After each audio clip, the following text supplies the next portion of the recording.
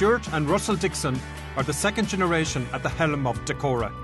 The company designs, manufactures, and distributes window blinds, shutters, and a large array of components from their two sites in Lisburn.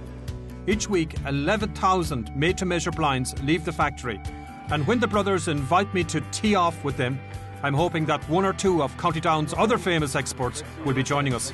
Hi Stuart, how are you doing? I've always been looking forward to this game of golf, this foursome. Right. where's Where's my partner, Rory McIlroy?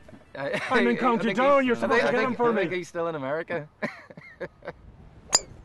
Decora has been part of your life since you were since you were kids, Oh really. yes, I mean when we were growing up, you know, nine, ten years old, we, we saw our mother and father working in the business, starting the business.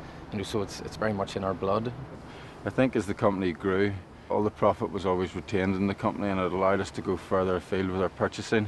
Put it this way, in China and Asia, we would probably be the best known company in Europe, and that's always been through what Russell and I have been taught keep the balance sheet strong, keep the money in the business, and keep investing.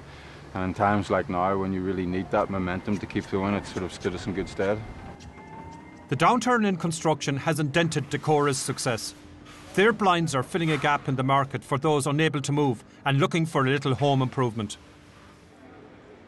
And how do you divide your work, or which of you is the boss? We're both the boss. You're both the boss. Depends Good which answer. day, depends what situation.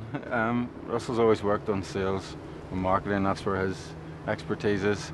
I followed Dad out into Asia, so that's where I would tend to know a little bit more.